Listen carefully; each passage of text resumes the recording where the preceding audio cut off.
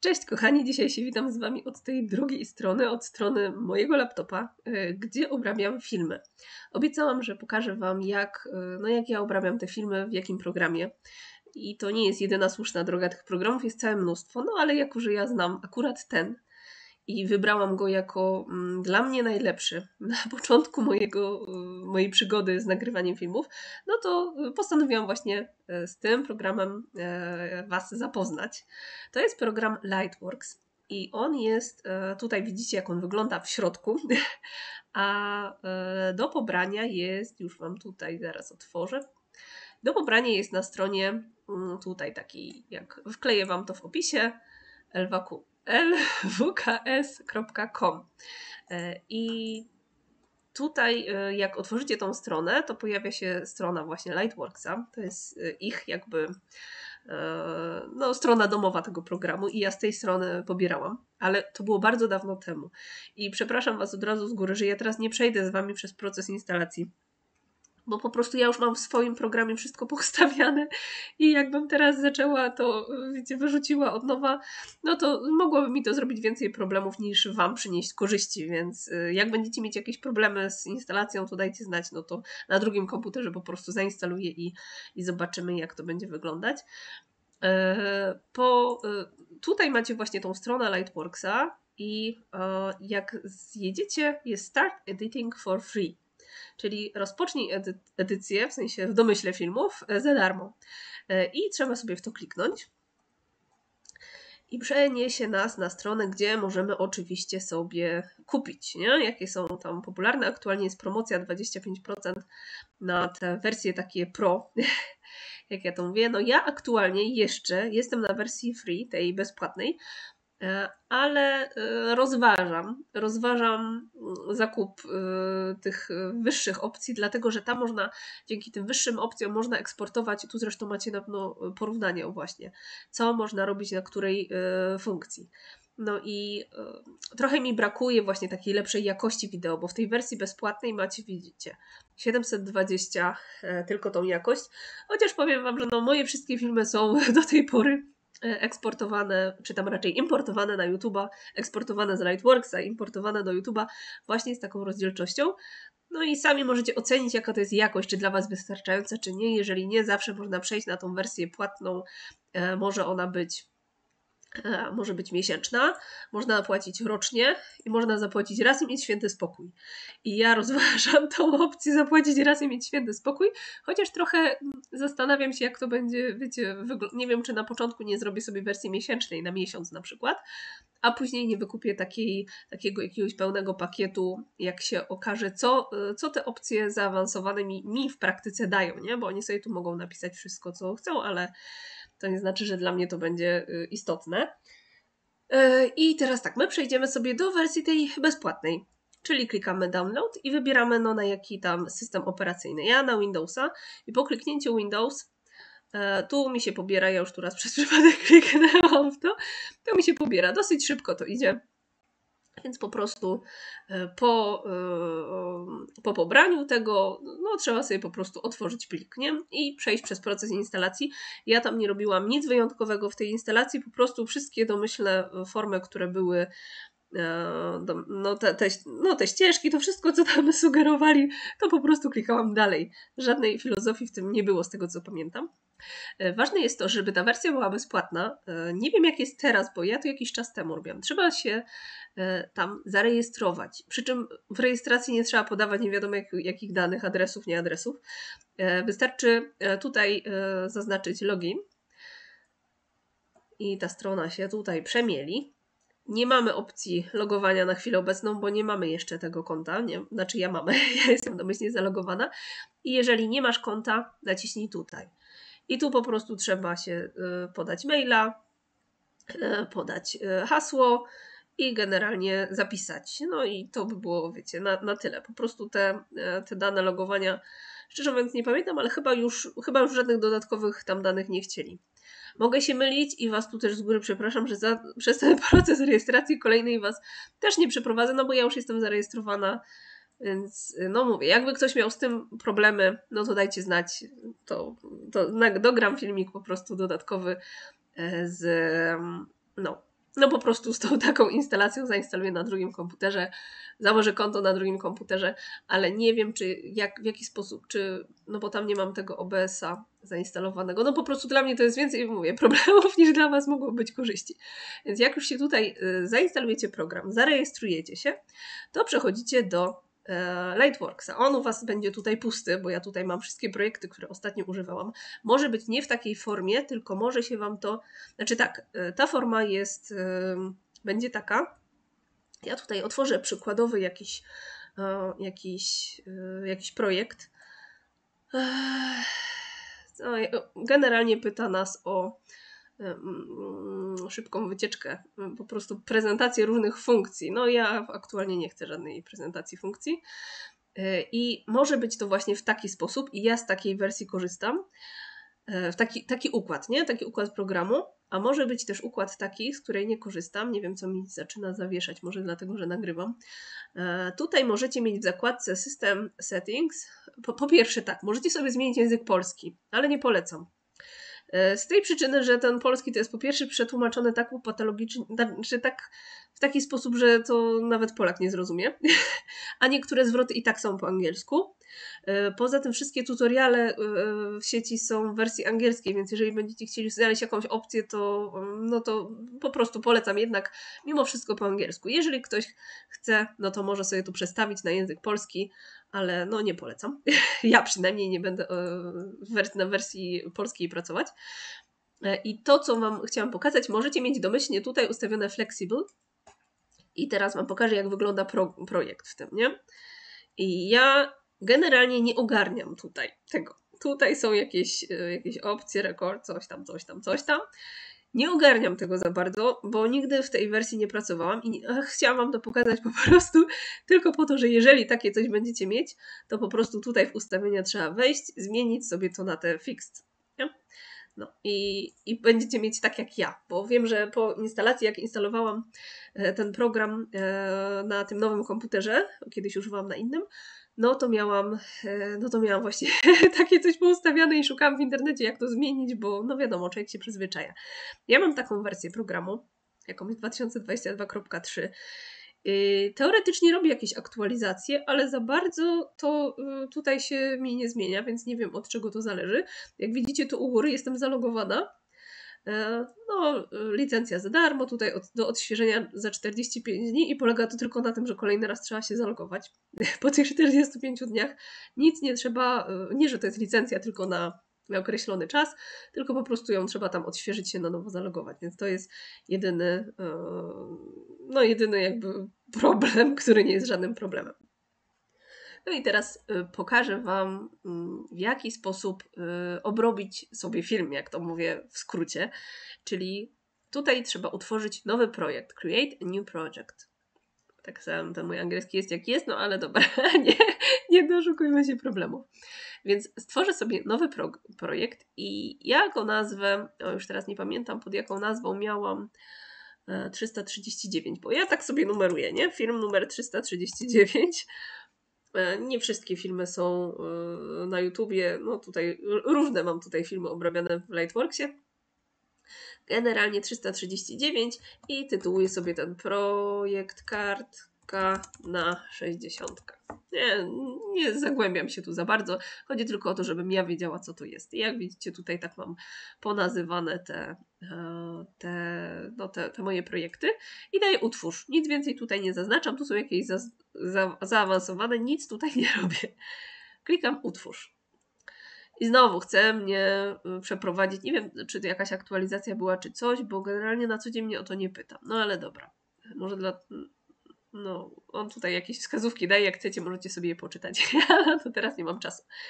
Y, I teraz y, tutaj z lewej strony są jakby takie mm, ustawienia. Aha, przede wszystkim tak, u góry są zakładki. Zakładka log, zakładka edit i ja z niej, y, z tej, w tej zakładce edit importuję filmy, zdjęcia, jakieś dodaję rzeczy. W tej zakładce VFX ustawiam sobie jakieś, e, no jakieś ustawienia, czy tam jasność, prędkość, e, no różne tam takie rzeczy. A tutaj jest zakładka audio, czyli e, zakładka związana z dźwiękiem. Możemy sobie tutaj podgłośnić, trochę dźwięk ściszyć, e, można sobie dodać, znaczy tak, dodać melodyjki można z zakładki edit, a później jakby mm, też o głośności e, mówi ta zakładka audio. Znaczy ja tak mówię w sposób uproszczony, w jaki ja korzystam. Tutaj jest milion funkcji, których ja nie korzystam, więc mówię Wam tylko te, które są dla mnie istotne.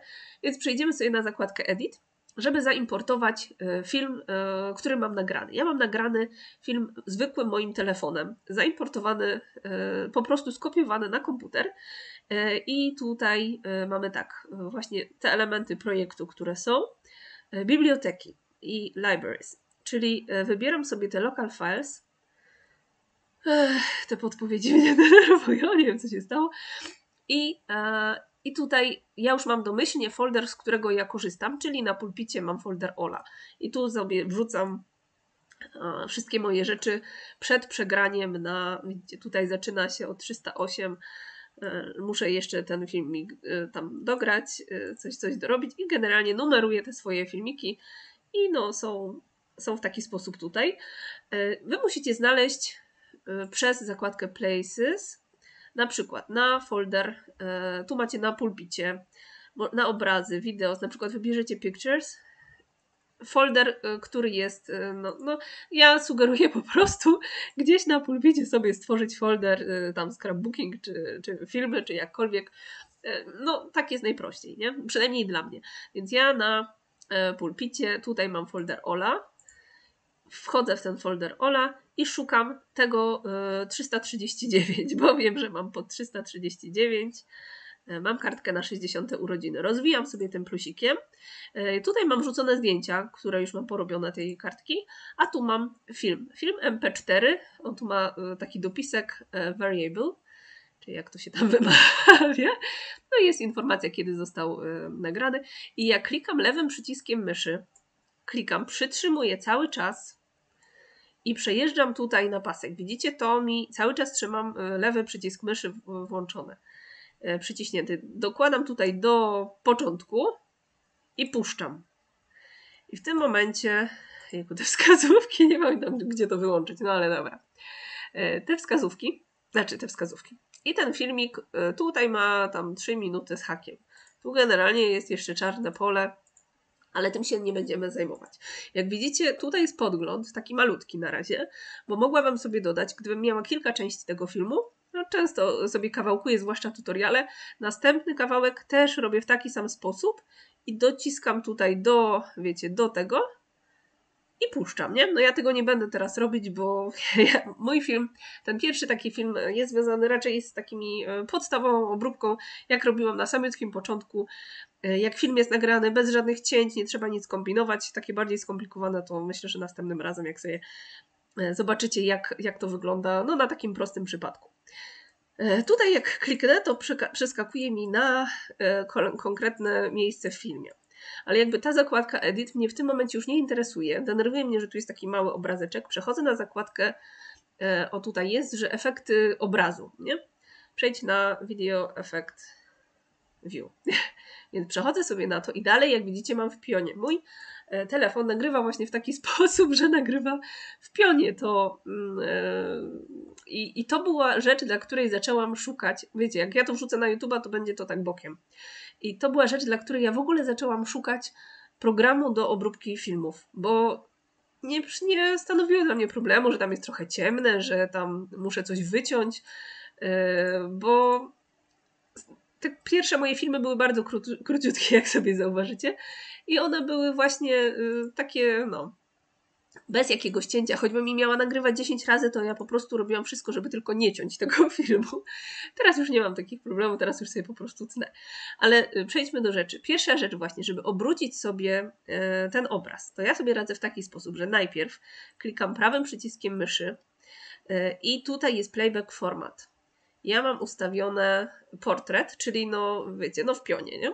Klikam ten trójkącik tutaj, tą strzałeczkę do góry i wybieram. Ja wybieram y, tą opcję 60 fps, ewentualnie 59-94. A teraz, którą opcję tu wybrać, to Wam pokażę, bo y, przejdę sobie do tego folderu, to było 339. w jaki sposób ja to mam nagrane. Tutaj mam plik z nagrania. Prawym przyciskiem myszy klikam sobie we właściwości i w szczegółach mam informację, ile klatek na sekundę. I to jest to, co trzeba tutaj wybrać właściwe, bo jeżeli tutaj będziecie mieć 30 e, klatek na sekundę, a wy wybierzecie teraz 60, to będziecie mieć takie, po prostu obraz nie będzie płynny. Ja raz miałam taki przypadek, jak y, nagrywałam jakiegoś vloga, że część filmów miałam nagranych 30, część nagranych 60 i stworzyłam nie zauważyłam tego. Stworzyłam film 60, e, właśnie tutaj sobie ustawiłam, 60 klatek i mi się rozjechał dźwięk e, z obrazem. E, więc zawsze wybieramy, jeżeli macie kilka takich filmów, to łączycie, wybieracie tę, tę najniższą, nie? Więc tutaj będzie do wyboru w tym przypadku, jeżeli będziecie mieć kilka, to będziecie mieć do wyboru nie tylko 60, ale na przykład 30. Ten filmik widzicie, mam 59,83 nie mam dokładnie tego do wyboru. Aha, 720 to jest po prostu taka, no, y, im wyższa y, liczba, tym wyższa jakość. Ja wybieram tą najwyższą, mimo że on i tak eksportuje potem 720, no ale może jak przejdę na wersję Pro, to sobie będę mogła wyeksportować lepsze. No teraz już nie będziemy w to wnikać. Chodzi o to tylko, że ma, musimy wybrać tyle tych klatek na sekundę, ile mamy najbardziej zbliżone. Nie wiem, jak mam 59, 83, no to w tym przypadku wybiorę sobie tą opcję. I Teraz, jak zauważycie, mam w poziomie. E, aha, to prawy przycisk zniknął. Mamy w poziomie już obraz, ale tu boki są czarne. Obraz tam sobie jest w poziomie, ale dalej to, co mam nagrane, jest e, w pionie. Więc to jest to, co jest teraz e, istotne. Przejdziemy do pierwszej funkcji tego programu, która dla mnie była najbardziej istotna, czyli obracanie obrazu. I ja to mam już teraz wszystko w ulubionych te, które, te których używam najczęściej. E, ale e, tu są właśnie z tej lewej strony, macie tutaj informację um, obróbka koloru, czyli właśnie jak widzicie z gwiazdką, to sobie od razu możecie zagwiazdkować też je, dodać do ulubionych, bo ja będę później e, w następnych tych będę już używać tylko tej zakładki ulubione, nie będę za każdym razem tego wyszukiwać. Więc zakładki kolor używam opcję Color Correction, korekcja koloru po prostu i temperatura koloru. I zasadniczo to jest tyle, co ja korzystam z zakładki kolor. Później jest zakładka DVE i z DVE właśnie jest ten obrót, to jest te 3D DVE, to jest właśnie ten obrót, e, którego będziemy za chwilę e, korzystać, ale tu na razie sobie tylko go zagwiazdkujcie. Zakładka Key, w zakładce Key nie mam nic. E, można tutaj sobie dodać, na przykład widzicie E, czyli dodać sobie grafikę albo logo. Niektórzy sobie swoje filmy znakują jakimś swoim logo. Ja jeszcze, jeszcze do tego nie dojrzałam. nie wiem, czy jakoś nie widzę większego sensu, więc po co sobie roboty dokładać. Później zakładka mat. E, no to tutaj widzicie, no opcji ten program ma mnóstwo, ja z nich nie korzystam. Zakładka Mix. To jest zakładka Dissolve, e, znaczy opcja Dissolve, czyli opcja takiego przenikania. Jeżeli tu będziecie mieć dwa filmy, to jak zauważycie między jednym a drugim, żeby nie było takiego, e, takiej krechy po prostu, że przeskoku, to ja robię sobie Dissolve i on, to będę Wam w praktyce później pokazywać. To on generalnie prze, takie miękkie przejście, obym to nazwała. E, zakładka Stylize i tutaj z ulubionych mam tylko Obscure Blur I tutaj to jest zamazywanie jakiegoś na przykład, jak macie czyjąś twarz, której nie chcecie pokazać, no to e, zamazywanie, ale w takim jednym konkretnym punkcie filmu. E, są jeszcze opcje, gdzie można sobie ten, że, że to z biegiem czasu może sobie ten zamazany ekran gdzieś tam przechodzić, zamazany punkt, ale ja używam najczęściej takiej jednej, nie? Albo jakieś dane faktury, jakieś no, takie rzeczy. I zakładka tekst i w zakładce tekst ja używam, jak widzicie tutaj, jednej opcji Titles, czyli, yy, czyli nagłówki. Znaczy, czyli no, nagłówki niby, ale to po prostu jest opis, który gdzieś się pojawia na środku ekranu. Yy, z takiej, yy, używając tych funkcji będziemy, używać tych funkcji będziemy później. Dzisiaj robimy taką najprostszą rzecz, więc to było w zakładce DVE. Ja mam to już, jak widzicie, w ulubionych. DVE, tytuły, E, ten dissolve, color temperature i to by było na tyle. Nie? Czyli naprawdę nie trzeba używać wielu funkcji, żeby sobie te podstawowe rzeczy zrobić. Są jeszcze inne opcje, które tutaj pod prawym przyciskiem myszy się kryją. Wiecie, tutaj jest na przykład dodaj i jest mnóstwo innych rzeczy. Na przykład e, w ten sposób tutaj dodaję sobie obrazki. E, no, wiecie, tego jest dużo. A poza tym teraz tu zauważyłam, że tutaj przy tym add są właśnie o color temperature, są, są też te funkcje, które, które są tu z lewej strony. Do rzeczy. Klikam dwa razy lewym przyciskiem myszy w tą 3D DVE, dwa razy lewym przyciskiem myszy. Znowu mam tu jakieś podpowiedzi, ale mnie one nie interesują. I pojawia się taka zakładka, gdzie możemy sobie obracać. I możemy sobie, o widzicie, obracać obrazem. Tak, obracać tak. Można sobie tu jakieś cudawianki robić. Ja tutaj wrócę do 0. Tak jak było. Możemy zmieniać pozycję, czyli prawo, lewo, góra, dół. Wiecie, pozycja Z, czyli bliżej, dalej. E, I tutaj znowu wrócę sobie do 0, bo e, nie tak. 0, nie, 50 to było. Widzicie, już nie pamiętam. 50, 50, tak? Jak tu było? Ale generalnie, jak nie wiem jak było, mogę dać zawsze cofnij. I tu jest cofnij. I on już mi wrócił do tego. Aha, 0,5 było. Dobra, nie wiedziałam, że to nie, nie zwróciłam uwagi. E, tu jest przycinanie z lewej strony, trochę sobie można przyciąć z prawej strony, no wiadomo, od góry, od dołu, jakie tam kto ma. Wiecie, powiedzmy tutaj mam kawałek statywu i nie chcę, żeby tego było widać, więc tu sobie obcinam, nie? Ekran, wtedy, wtedy w tym miejscu mam czarne pole. Ale żeby sobie obrócić ten ekran, to tutaj jest e, obrót Z. I ja, żeby obrócić, e, to widzicie, w taki sposób sobie to obracam, nie? Ale ja nie klikam za każdym razem, nie obracam, nie bawię się w to, tylko wpisuję już teraz. Wiem, że mój ekran zawsze jest w taki sposób zorientowany. No i znikło mi tu teraz. Eee, gdzie to było? Eee, eee, nie wiem, gdzie to było. Chyba znikło. Generalnie cofnęłam całkiem dodanie tego. Więc jeszcze raz sobie daję to 3D. I nie bawię się za każdym razem w obracanie, tylko tylko tu wpisuję 270 i daję Enter. I on już mi obraca. Ale jak zobaczycie, on mi obraca, ale dalej jest dookoła czarne pole. I tutaj jest jeszcze y, takie kluczowe pozycja Z. I to, to, właśnie oddawalanie, przybliżanie. Ja już sobie znalazłam idealną, yy, idealną wartość dla moich filmów, a musicie znaleźć idealną wartość dla swoich. To już na początku metodą prób i błędów, wiecie, no tutaj sobie tym suwakiem albo yy, dodawać jeden, jeden nie, na przykład dwa, no to też nie, nie? E, u mnie jest to minus, bo minusowe tutaj też działają, 1,1. I ja mam teraz na cały ekran. Ja więc y, tak sobie obróciłam obraz y, do tej pozycji, którą, którą wy później widzicie. No i teraz kolejną rzeczą, którą zawsze robię, aha, jeżeli macie kilka części, to w tej drugiej części też musicie sobie to później dodać. Więc to trzeba robić w każdym kawałku, więc warto jest nawet nie kawałkować tego filmu, no przy tutorialach to się nie da, tylko nagrywać ciągiem z jakimiś tam, mówić, że nie wiem, przerwa, a potem e, stop klatka czy coś, tylko no, to jest związane z tym, że musicie cały film odsłuchać. Ja i tak odsłuchuję wszystkie moje filmy. E, no, no, chyba, że wiecie, no zawsze mi się tam gdzieś może coś ominąć, wyjdę na chwilę po herbatę, myślę, że słyszę wszystko, a mogę nie słyszeć wszystkiego, ale no staram się wszystkie moje filmy odsłuchiwać drugi raz. I teraz to, co druga rzecz trochę jest ciemno, nie? Nie jest jakoś idealnie, więc znowu tym plusikiem dodaję nowy efekt i dodaję y, tutaj już widzicie z ulubionych. Ja dodaję sobie z ulubionych, no możecie tutaj poszukać, gdzie to było. DVE Widzicie, ja nawet tutaj nie bardzo wiem, w którym to było miejscu, bo ja, aha, kolor, tak. Czyli color correction. Tu możecie sobie szaleć. Możecie sobie na niebiesko, możecie sobie coś tam, jakieś światła i tak dalej. Ja to cofnę. E, wartości, które e, ja tych kolorowych rzeczy w ogóle nie ruszam. Ruszam te suwaki, które tutaj są, więc widzicie, jak dacie tu za bardzo, to jest, e, usuwa Wam cienie. Tu jest zakładka Shadows, on usuwa Wam cienie, więc to jest takie bardzo rozmyte.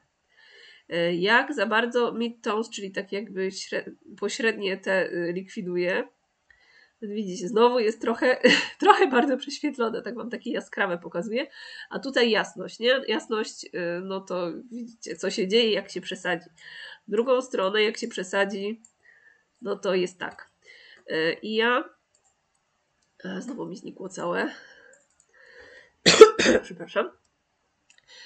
I ja tak raczej też nie operuję suwakami, tylko tutaj już wpisuję wartości. Z biegiem czasu będziecie wiedzieć, w jaki, jak wasz sprzęt nagrywa, jak jasności, żeby sobie nie przesadzić. Najczęściej wstawiam tutaj 120, Enter, albo klikam dalej. 110, Enter i 105. Najczęściej robię to w taki sposób. Nie wiem, czy ja tu czegoś nie porobiłam przed chwilą, bo coś mi tutaj nie. Eee, czekajcie, wycofam to sobie.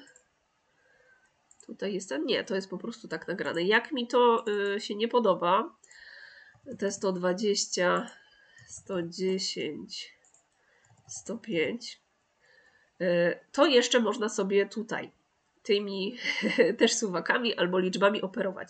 Ja najczęściej tak E, wpisuję wszędzie po 5.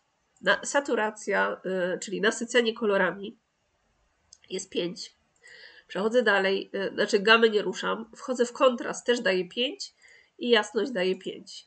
I widzicie, no jest to takie już, już, no, już jest ok, nie? Tak, tak, tak to mniej więcej wygląda w moim tym. Można sobie troszkę rozjaśnić, na przykład dać tu 7, bo chcecie jeszcze trochę jaśniej można sobie dać y, tutaj nie 105, tylko 110 za tą część, co rozjaśnia. Trzeba to robić z umiarem, żeby no, żeby nie, nie prześwietlić i żeby nie straciły y, kolory. Nie? Więc y, tak to tutaj wygląda. I najczęściej po tych wszystkich operacjach, które tu robię na tych kolorach, robi się obraz taki cieplejszy. I dodaję, żeby go ochłodzić, trzeba sobie dodać następną, jakby następny efekt i to jest temperatura. Ona też była w zakładce kolor. Y, tutaj ja mam ją tu w ulubionych, ale generalnie tem temperatura. I tu jest tylko taki prosty ten, można sobie bardzo rozcieplić, bardzo rozchłodzić, domyślnie jest 0. Y, ja tu najczęściej daję minus 10, minus 15, wszystko zależy jak, y, no widzicie, patrzę na to, że moje tło jest, jest w miarę białe, więc żeby te kolory też oddawały faktyczne kolory w rzeczywistości, no to takie minus 10, minus 15, na minus ochładzamy, na e, plus e, ocieplamy, nie? Więc tak to tutaj się kształtuje. Więc już ten film w miarę jasnością i, i, i co? I układem, i kolorystyką jest taki, jak powinien. Ja sobie zawsze puszczam ten film, bo często jest tak, że chciałabym E, zanim wiecie, kliknę na aparacie e, start nagrywania, e, to czasami wymaga to czasami tu chwilę jeszcze potrwa i ja nie chcę, żeby czekać, żebyście czekali 5 sekund, aż ja zacznę gadać, więc sobie puszczam to, co mam nagrane. No, widzicie, tu zaczęłam, tu jest czas, czas. Zaczęłam tam w drugiej sekundzie. Tu możemy sobie zbliżać i oddalać ten pasek cały.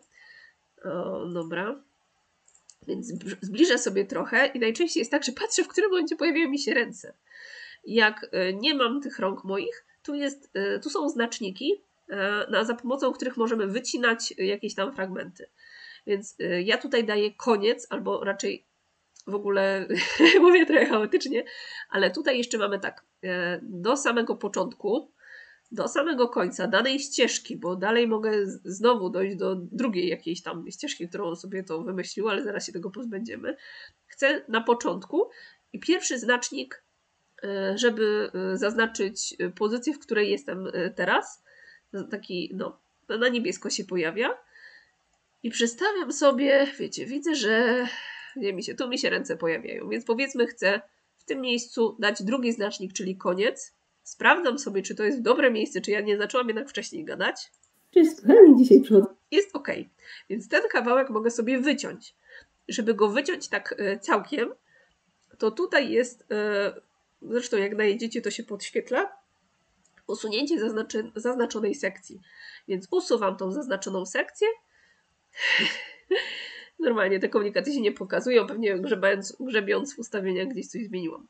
E, I teraz start już nie jest tam tą sekundę przed, tylko jest teraz. Ja dzisiaj przychodzę z szybką prezentacją. No, więc e, szybka prezentacja. Na 60. rocznicę urodzin pewnej. Ja sobie to odsłuchuję zawsze, ale teraz już wiem, mam odsłuchane i nie chcę Was tutaj już aż tak długo trzymać. E, przechodzę sobie na sam koniec i też robię to samo z końcówką, nie? Bo ja się tutaj żegnam najczęściej z Wami. I później znowu, zanim na, nacisnę z pauzę, czy koniec nagrywania, znowu jest chwila. Nie chcę, żeby to też tutaj było, więc chcę to usunąć. Więc szukam tego miejsca, gdzie y, kończę gadać po prostu. Pa, pa. I stopuję, nie? bo tu jest start, stop. Znowu robię sobie znacznik początkowy. Przechodzę do końca już nawet nie tej części, tylko do końca w ogóle całkiem tego, co sobie tutaj program wymyślił. Daję końcowy znacznik i usuwam całą tą zaznaczoną sekcję. Czyli teraz mój film kończy się w momencie, gdy mówię papa i koniec, nie? I koniec filmu jest. Więc na tym y, polega taka uproszczona obróbka filmu, żeby e, film, który nie wymaga nie wiadomo jakich cudów, po prostu, żeby go y, wyeksportować w poziomie i żeby troszkę go powiedzmy, że podrasować kolorystycznie, rozjaśnić, żeby to nie było jakieś bardzo ciemne. Y, teraz kwestia eksportu, czyli E, w, no, wyeksportowania całej, całego tego filmu na zewnątrz, żeby móc go zaimportować do YouTube'a. Tutaj jak przycisnę prawym przyciskiem myszy na ekranie, mam tu różne opcje, w tym jest eksport. I teoretycznie jest tu opcja, że można sobie bezpośrednio na YouTube'a. Nigdy z tej opcji nie korzystałam i jakoś nie jestem do niej do końca nie, nie mam do niej zaufania. Pewnie trzeba by było połączyć Lightworksa z YouTube'em i tak dalej. Nie bawię się w to eksportuję do jedynej opcji, którą mam w wersji bezpłatnej. E, tutaj, e, bo tutaj są jakieś różne, to są te wersje socjalowe, jakieś tam, jakieś tam coś. Z tego w ogóle nigdy nie korzystam, więc nawet nie wiem, co tu jest. E, korzystam z tej opcji Media Files i używam tej opcji 264 MP4. To jest jedyny format jakby, nie? Bo tu rozszerzenie filmu MP4 będzie. Bo tu są inne rozszerzenia, w sumie tak mówię o jakości, jakoś to za chwilę rozszerzenie mogę tylko do MP4 z tego programu wy, wyeksportować, więc klikam w tą opcję i pojawia się miejsce, gdzie możemy właśnie wyeksportować on domyślnie e, format, no to tu jeszcze można sobie zmienić format. Tutaj można zmienić właśnie, jeżeli na przykład film był częściowo w 60 e, feet per second, nie wiem nawet jak to, klatek na sekundę, o właśnie. E, to y, możemy sobie tutaj zmienić to na tą najniższą, jaką mamy. Ja sobie wybieram tą opcję. Im więcej tu jest tych klatek na sekundę, tym dłużej się film eksportuje. I tutaj mamy opcję rozmiar. Ja mam tylko, widzicie, tu muszę w tych wyższych opcjach niestety trzeba zapłacić. I rozważam właśnie zrobienie sobie tej e, zapłacenie za, za, za tą możliwość, bo, e, bo po pierwsze znam już ten program, więc nie chcę mi się uczyć innego, a po drugie no jak ktoś ogląda na telewizorze, to na pewno widzi, e, e, że te moje filmy są nieostre, że tam gdzieś jakaś może pikseloza się robi, bo jak się ogląda na telefonie czy nawet na laptopie, to raczej jest to znośne, nie?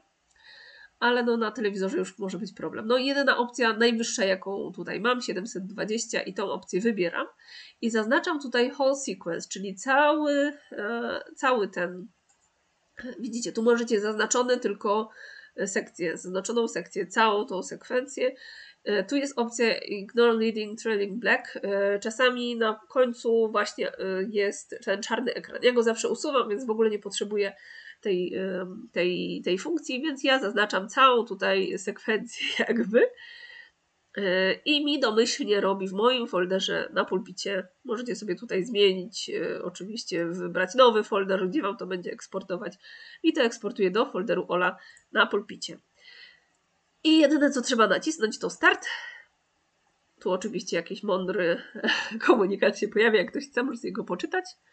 Eee, gdzie mi to znikło? Gdzie mi to znikło? Where are you? A, tu jest, dobra. Eee, tak? Tak. ja też najczęściej już, jak klikam eksport, już nic nie klikam najczęściej, więc jestem teraz zdziwiona, że mi to znikło, jak dałam tylko OK.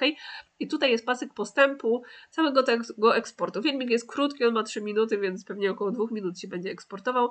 Ja Was aż tak, aż tak długo trzymać nie będę po prostu tutaj pokazuję. Zawsze można to zatrzymać, jak to przez przypadek klikniecie i przerwać, ale no ja tutaj chcę, żeby mi wyeksportowało do końca. E, no i na koniec Was, e, jak mi to wyeksportuje, to pokażę Wam, jak to dalej wygląda. Program się mi tutaj wyeksportował już plik, przemielił wszystko, pokazuje w jakie miejsce on to wyeksportował, ile czasu mu to zajęło. E, przy bardzo długich filmach zdarza mi się, że mi wywala tutaj wszystko i muszę jeszcze raz to zrobić ale tutaj bez problemu przeszedł e, eksport. I teraz wejdę sobie w ten folder, który on tu wskazuje, pewnie jak tu kliknę to e, mi to otworzy, ale ja nie chcę, żeby mi tak stąd to otwierał. Przechodzę sobie w folder e, folder Ola. I tutaj szukam, ja tu mam wiecie milion rzeczy, ale chciałam wam pokazać on zapisuje w taki w taki sposób. Sequence, hashtag 1, tam pewnie można gdzieś to zmienić, ja się nigdy w to nie bawię, nie przeszkadza mi to, bo nazwę i tak za chwilę zmieniam. E, wycinam ten plik, czyli albo Ctrl X, albo prawym wytnij. Wracam sobie do tego folderu, w którym byłam przed chwilą, czyli kartkę na 60 urodziny. Wklejam e, i zmieniam tutaj na przykład urodziny 60, to akurat nie ma znaczenia. Chyba nie ma, chociaż nazwa pliku może mieć znaczenie tam dla Google'a, dla wyszukiwania i tak dalej, więc raczej nie zostawiam tu jakiegoś e, napisu, wiecie, tego co był, tylko coś tutaj zmieniam. E, I to jest już mój wyeksportowany plik. Jak go sobie kliknę. Cześć, dzisiaj przychodzę z szybką prezentacją, formie, z prezentacją kartki na 60. rocznicę urodzin pewnej pani. W takiej formie mi się to wyeksportowało. Jak widzicie, no jest y, jasność w miarę ok. Jakość nie jest już taka super, jak tam była na podglądzie, no bo to jest w tej gorszej trochę jakości wyeksportowane, ale no jest. Więc teraz w następnej części pokażę Wam, jak ten filmik e, e, zaimportować do YouTube'a i generalnie taki trochę zaplecze YouTube'owe Wam przy okazji pokażę. Nie chcę już w tym filmie, żeby to aż tak długo trwało, nie każdego to interesuje. E, może ktoś nie chce na YouTube'a tych filmów wrzucać, tylko na jakieś tam inne, na Facebooka na przykład, więc, więc może go to nie interesować, ale ja tutaj jestem bardziej YouTube'owa, jak wiecie, więc e, ja to będę wrzucać na YouTube'a. Więc w tej części się już z Wami żegnam. Jeżeli będziecie mieć jakieś pytania e, odnośnie właśnie tych takich podstawowych form eksportu, E, czy, e, czy obróbki, no to dajcie znać. Wiadomo, tutaj opcji jest milion, można się w to zagłębić, ale to myślę, że taka podstawa naprawdę, naprawdę wystarcza. Nie wystarcza już kilka lat, więc e, czasami tam dodaję jakieś jakieś różne opcje przy vlogach na przykład, nie? Czy czasami dodaję zdjęcie na, na, na filmie, ale to, to Wam też pokażę już na innych przykładach. Tu chciałam wybrać taki bardzo prosty, żeby taką bardzo prostą obróbkę filmu Wam zaprezentować. Tak więc y, dziękuję Wam na dzisiaj. Tutaj myszką Wam pomacham. nie będę przyłączać na kamerę, nie wyglądam dzisiaj za dobrze, więc daruję Wam y, mój obraz. Tak więc dziękuję Wam bardzo i jeszcze tak może na sam koniec powiem, ja te treści chyba powiem, na tym, powiem o tym na wstępie, ale no ale myślę, że jak przypomnę na jakimś filmie, to, to świat się nie zawali, zwłaszcza na końcu, którego już mało kto do, do, dotrwa do, do końca. Jakby ktoś y, chciał wesprzeć te moje działania, na YouTubie, to ja mam uruchomioną opcję właśnie tamtej monetyzacji yy, i na reklamach, i mam jakiś udział w zarabianiu na reklamach i można też przez te naklejki, przez te podziękowania jakby yy, wesprzeć moje działania na YouTubie, więc yy, no, ja, to, ja to oferuję tutaj Wam bezpłatnie, sama korzystam z bardzo dużej ilości bezpłatnej wiedzy, więc nikogo absolutnie do niczego nie zmuszam, ale jakby ktoś chciał, to będzie mi bardzo miło. Tak więc jakieś te super naklejki, super czaty, to wszystko tam na dole jest. E, póki co e, to już wszystko na dzisiaj. Zapraszam Was do kolejnej części, w której wrzucimy ten właśnie filmik na YouTube'a. Pa, pa!